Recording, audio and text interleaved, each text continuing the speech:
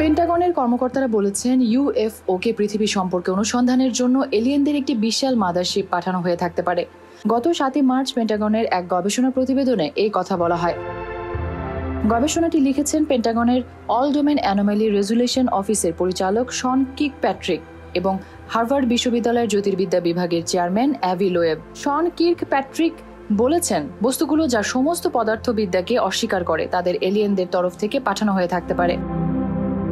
লোয়েব বলেন, বিজ্ঞানীরা দুহাজার সতেরো সালে সৌরজগতের বাহিরে সিগার আকৃতির ওমুয়ামুয়াকে ছায়াপথের মধ্য দিয়ে উঠতে দেখেছিলেন। হতে পারে পৃথিবীর কাছে দিয়ে যাবার সময় এলিয়েনদের মাদারশিপ থেকে এরকম ছোট ছোট প্রোভ বা ইউএফও পাঠানো হয়েছিল। লেখকরা প্রোভগুলোকে ফুলের বীজের সাথে তুলনা করেছেন যা সূর্যের মধ্যাকর্ষণ শক্তির কারণে মাদারশিপ থেকে আলাদা হয়ে যেতে পারে। লেখক বলেছেন, এই প্রোভগুলো তাদের ব্যাটারি চার্জ করতে এবং জ্বালানি হিসেবে পৃথিবীর পানিকে ব্যবহার করে থাকতে পারে।